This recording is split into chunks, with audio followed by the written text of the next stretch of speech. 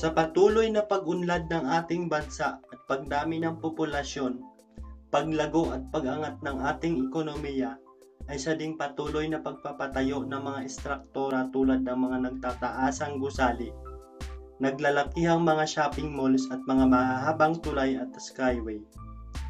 Dahil dito ay isa ito sa naging dahilan sa patuloy din na pagbaba ng level ng ating lupa sa dagat. Sa bidyong ito ay tatalakayin natin ang mga lugar sa Pilipinas na maaring lumubog umabura sa mapa sa taong 2050. Pero bago natin umpisahan ay huwag kalimutang mag-subscribe at i-hit na rin ang notification bell para maging updated kayo sa mga future uploads ko. Sa pagpapatayo ng mga naglalakihang gusali at mga estruktura at paglobo ng populasyon ay siyang naging dahilan sa pagbaba ng level ng ating lupa sa dagat. Dahil sa mga mabibigat na gusali, naging dahilan ito sa mabilis na pagtaas ng tubig o baha tuwing tag-ulan. Ang global warming ay isa din sa dahilan kung bakit mataas ang level ng tubig dahil sa pagkatunaw ng mga yelo sa ilang bahagi ng Antarctic Ocean at Greenland. Simula sa taong 1900 hanggang 2016 ay tumaas ang level ng tubig sa ating lupa ng halos 16 to 21 cm.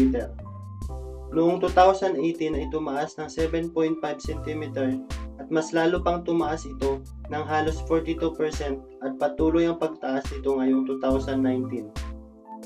Kung pagbabasihan ay maliit lang ang pagtaas ng tubig, ngunit naging mapanganib ito kung patuloy na mangyayari. Dahil tumataas ng halos 30 cm kada siglo ang antas ng tubig. Lumabas sa pag-aaral ng New Jersey-based science organization na Climate Central na may mga lugar sa Pilipinas na malulubog sa tubig pagdating ng taong 2050. Epekto raw ito ng patuloy na pagtaas ng level ng tubig sa dagat sa buong mundo. Narito ang mga lugar na maaaring lumubog sa natitirang halos 30 taon. Lawag City, Baler, Iloilo City, Rojas City, Katiklan, Boracay, Butuan City, Cotabato City, Siargao, Zamboanga City, City of Manila, Northwestern Metro Manila at ilang bahagi ng Bulacan, Southwestern Metro Manila, Cebu City, Dagupan City at ilang bahagi ng Pangasinan at ang ilang lugar sa Cagayan Valley. Aabot sa 8.6 milyon na mga Pilipino ang maapektuhan ng paglubog. At hindi lang Pilipinas ang maapektuhan, kasama nito ang mga bansa sa Asia tulad ng Japan, China, Bangladesh, India, Vietnam, Thailand at Indonesia. Aabot sa 150 milyon na populasyon ang maaaring maapektuhan sa paglubog.